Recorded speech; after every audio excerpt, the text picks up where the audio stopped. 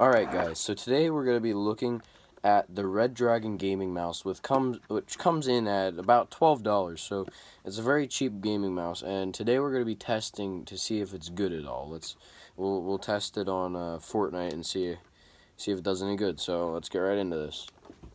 Alright let's get started getting this open.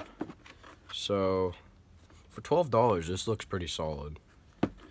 Let's figure out how to open this. Ooh.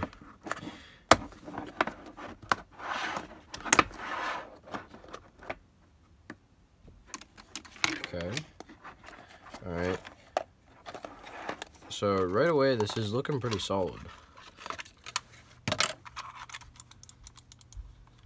It feels very nice. It's got it's got a nice texture to it.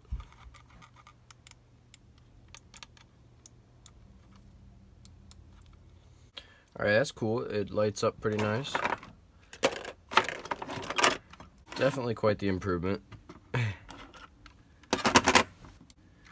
Alright, so there's like little weights in here. So you can have your mouse at the precise weight if you're that uh, technical so you can you can see that. And then just goes right into the bottom.